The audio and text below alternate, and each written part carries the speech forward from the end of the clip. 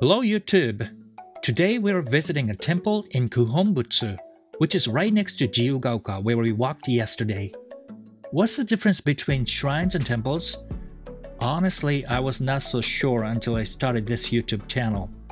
My parents taught me when I was a kid that shrines are where gods live, and temples are where our ancestors are resting. More wisely speaking, shrines are derived from a religion called Shinto, and temples from Buddhism. They share similar manners when visiting, but the biggest difference is no hand clapping at temples when you pray. Anyway, this temple is right in front of the train station so you won't get lost. Let's go now.